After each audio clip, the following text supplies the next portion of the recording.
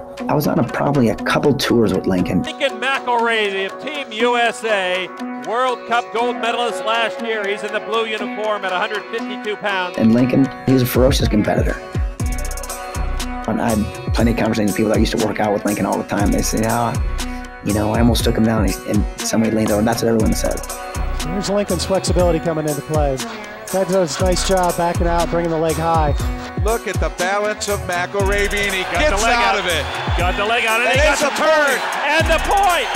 And the lead. That is psychologically devastating to his opponent. They almost, you know, and so, you know, when I think of him, I think of people that like that.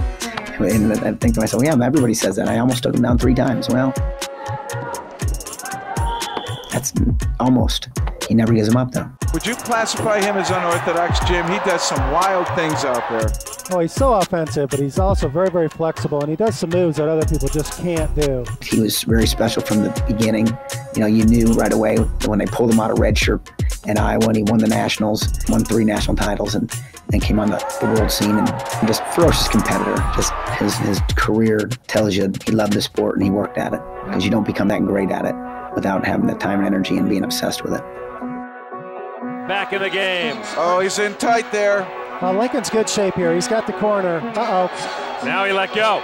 Once he straightened the leg, that was that was where that difference. Nice balance. Beautiful, beautiful counter by Lincoln. You've got to give Dabacolio credit for his offense here, but McIlravy's defense is superb.